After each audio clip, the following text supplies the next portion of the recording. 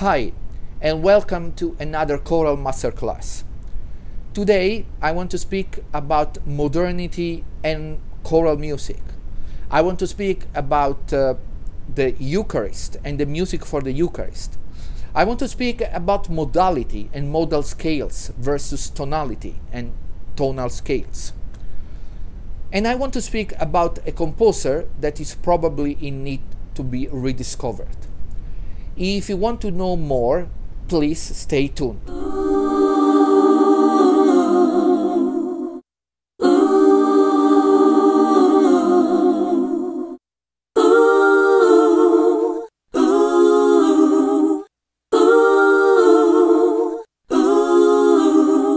In modern times, the society at large is telling us that modern is always good. So more I think is modern and much better is uh, uh, respect what come before. But is this true, or maybe not really? I think there is a wrong thinking uh, concerning music. Uh, the wrong thinking is that uh, all that is modern is better that than what was in the past. I mean, this is really garbage. So it means that we have to consider a, bet, uh, a best composer, I don't know, Stockhausen, uh, comparing with Bach, or uh, uh, Nono, Luigi Nono comparing with Mozart. I, I mean, this is really not a logical reasoning. Of course, uh, there are modern composers that uh, may be very good, even excellent, even genius, but uh, um, the idea of progress is not that uh, what is new is better of what was before. And there is no new good things if they are not built on tradition. And also, that's not only the problem. The problem is when music is no more a way to connect people, is a way to engage people, is a way to transmit something that uh, uh, belong to people but also form society and become some sort of uh, gnostic knowledge, some uh, some elitist uh, kind of um, repertoire. When this is happening, we are really on the right track. I think that every one of you may doubt about this. So we have to admit that some modern music, contemporary or avant-garde, is no more able to communicate, to engage, to disseminate, to enlighten, to transmit, but is instead alienating, disaffecting people, estranging them from music, separating them from what belongs to them, turning them off. So we can ask if what the thinker, French thinker Antoine Compagnon said in his book The Five Paradoxes of Modernity is not true. What are these five paradoxes? The first one is the superstition of the new, the second, the religion of the future, the third, the mania for theory, the fourth, the appeal to mass culture, and the fifth, the passion for repudiation. But so be modern means that you have to disregard the people? I don't think so. And also Domenico Bartolucci and other like him don't think in this way. Uh, Domenico Bartolucci thought that being modern still means that you need to communicate with people, and especially when you are doing sacred music. What is the purpose? Uh, the purpose of sacred music is the glorification of God and the sanctification of the faithful. So you need also to find a way, certainly to use all the um, uh, means that technique offer you, but never disregarding those that are uh, the receiver of your music. Certainly, the first that uh, is uh, uh, the receiver of music is God, because the, the music, sacred music, is for the glory of God but also need to be able to communicate with the faithful, communicate that beauty that has its first source in God Himself. Domenico Bartolucci was born in May 7, 1917, in Borgo San Lorenzo, a little village close to Florence. His parents were farmers. In his village, musical life was really alive. He told me in an interview. My father was a workman, but he sang continually in the vegetable garden. Also, mom, she sang in church, but she was not a singer.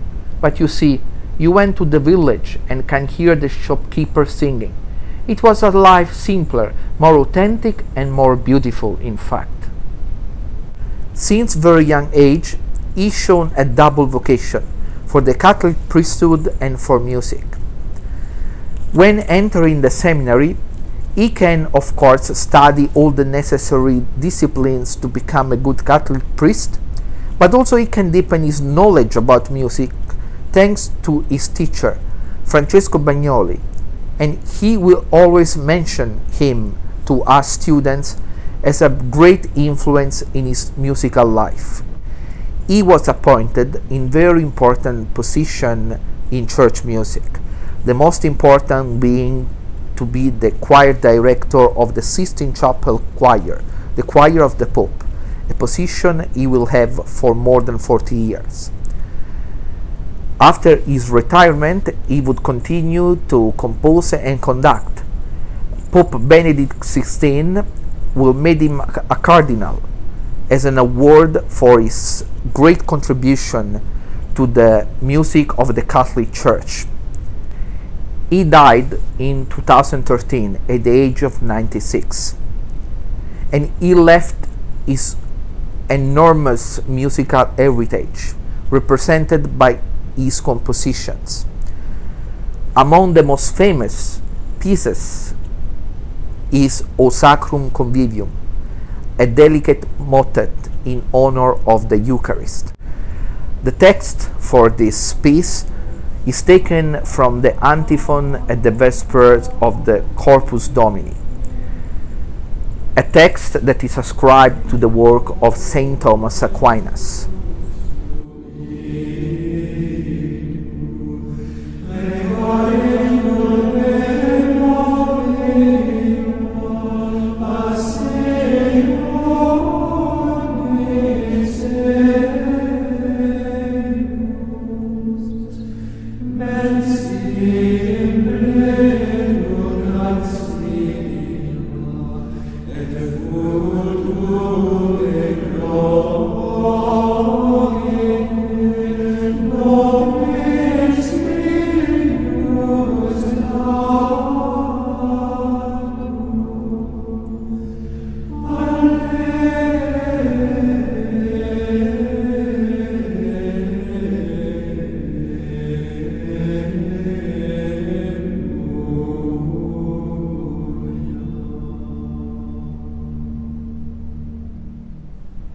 Now, let us talk about uh, the melody of chant and the melodic material of the O Sacrum Convivium by Domenico Bartolucci.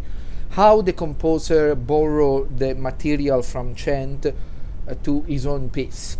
Uh, in a certain way, the process was similar to the one used by Renaissance composer so they will take melodies but uh, they will uh, not include all the notes. They will uh, eh, remove uh, some notes that are not considered essential to the structure of the melody. Uh, I remember uh, Maestro Bartolucci when he had class with us he said that the composer removed what he called the male note male note means the bad notes. Uh, of course, it is not to be taken bad in uh, uh, literal sense. Bad means not essential. Male note, the, the not essential notes.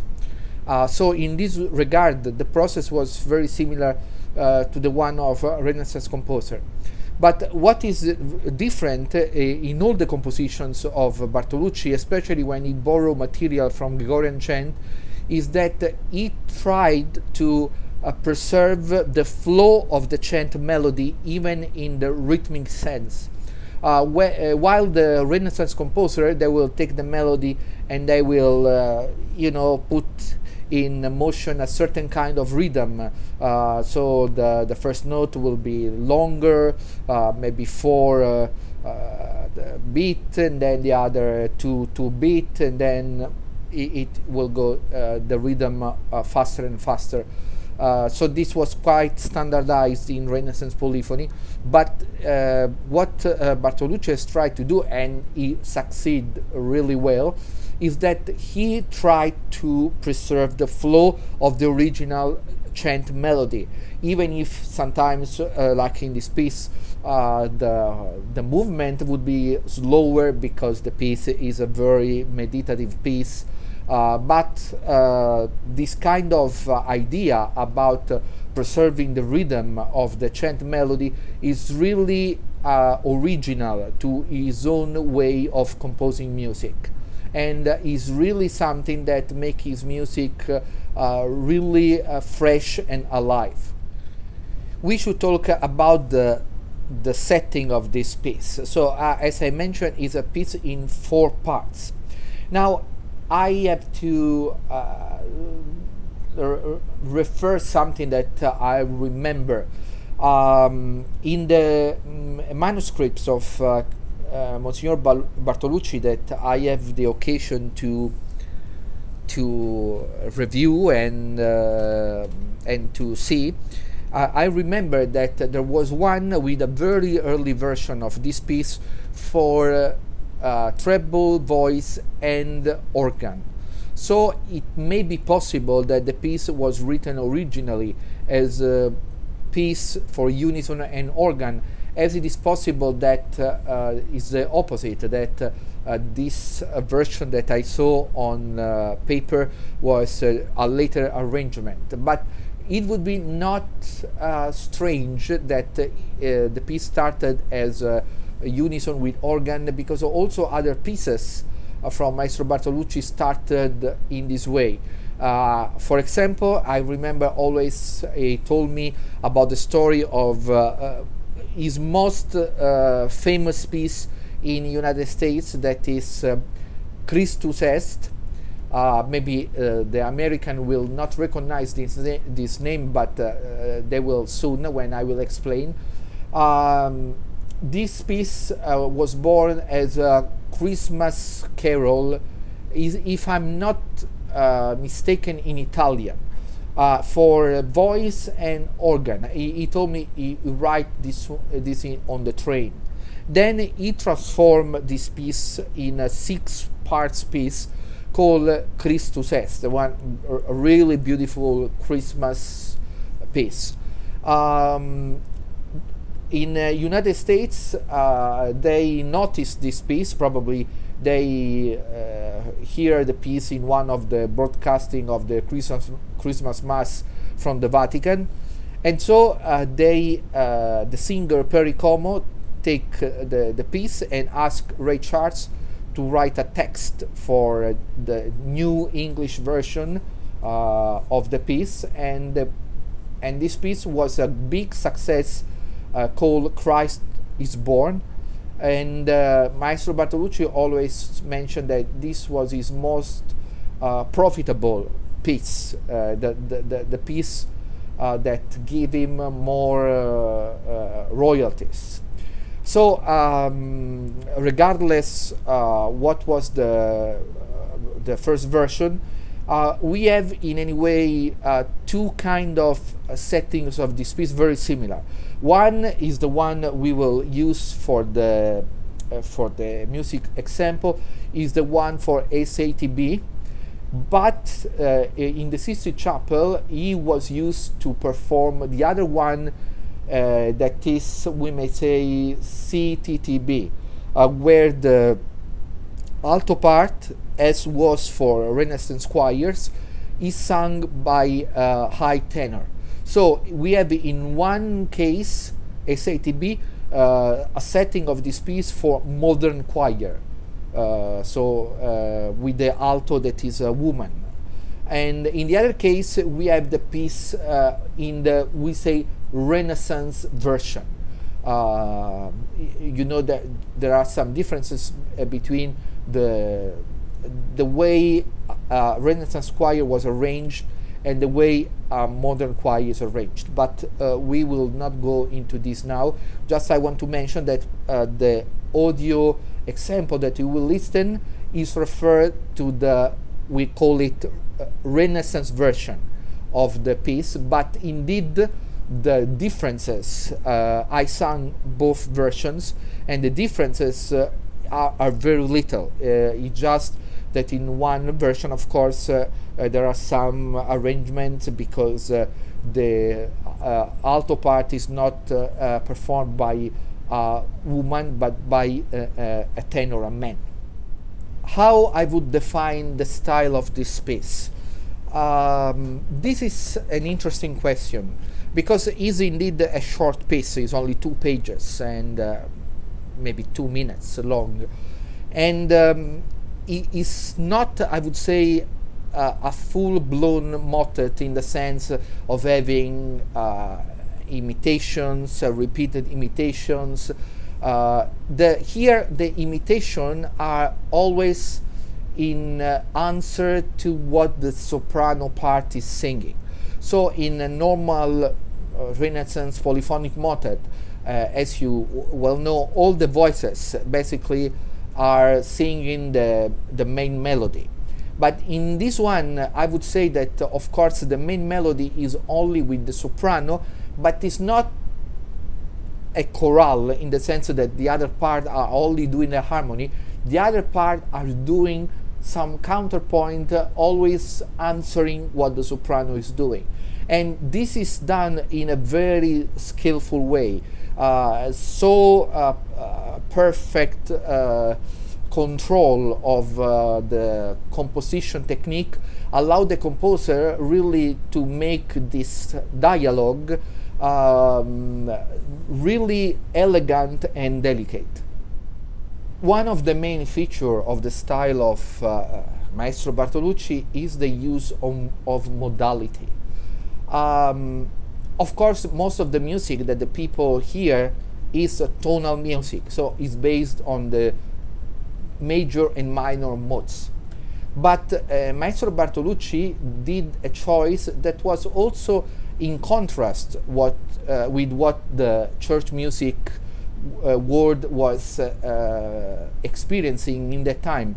Uh, as you may mention, uh, you may remember, I mentioned about Lorenzo Perosi, certainly one of the most famous and important church music composer, and he was the predecessor of uh, Maestro Bartolucci in the Sistine Chapel Choir. So for some time, uh, uh, Maestro Bartolucci was the assistant of uh, Lorenzo Perosi in the Sistine Chapel Choir.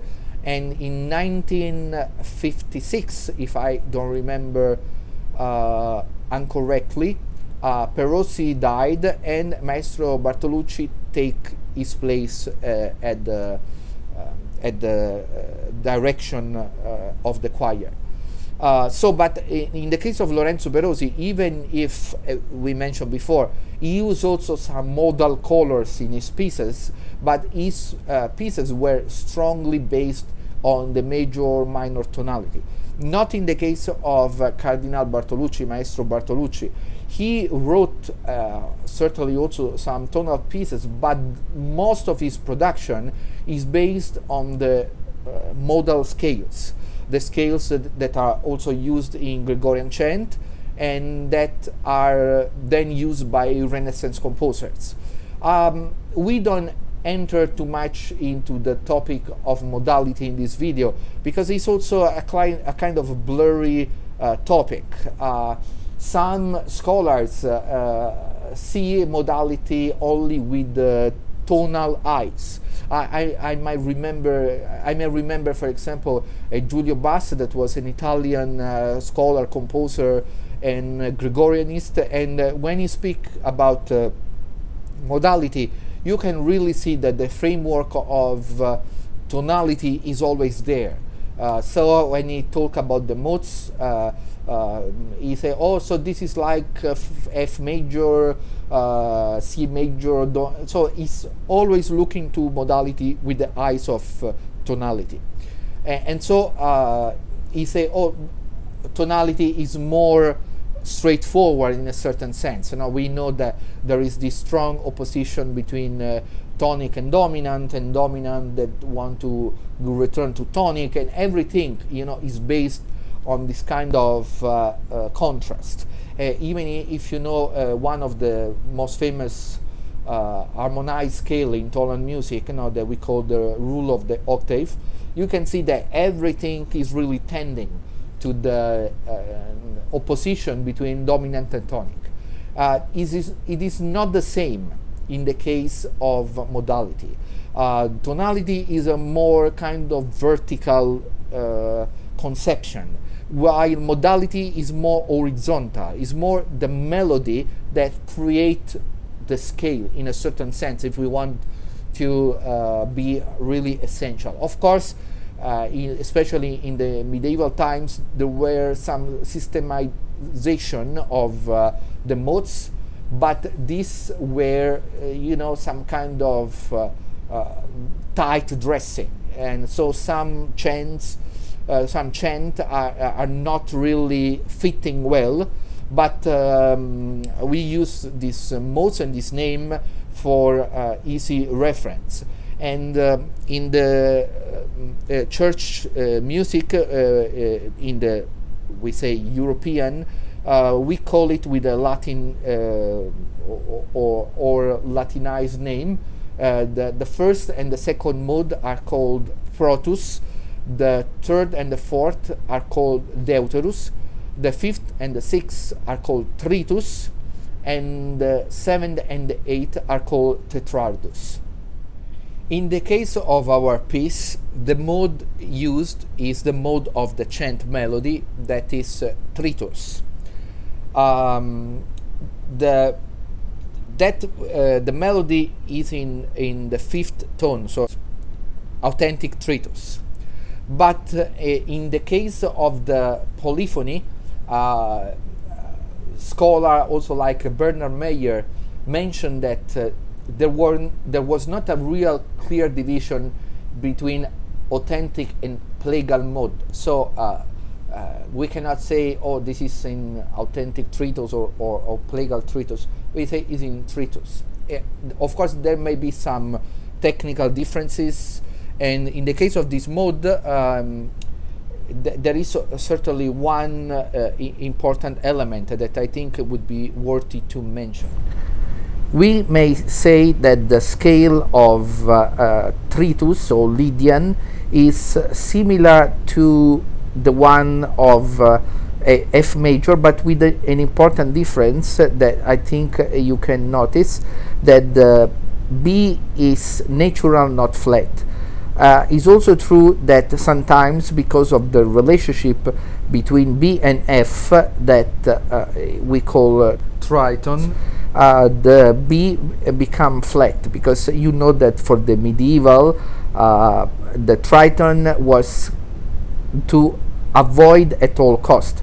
They call it the diabolus in musica, the devil in music. So it was something that really was to be uh, removed in any possible way.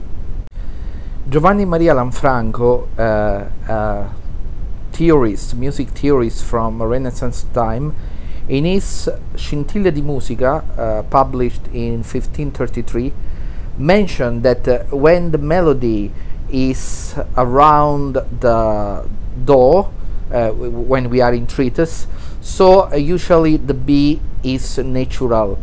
And when the melody is more in relationship with the F so uh, the B uh, become flat indeed uh, we can see also that in the piece of Maestro Bartolucci Sacrum Convivium that is a, tritus but uh, transposed in G in the version for SATB, so the version for modern choir.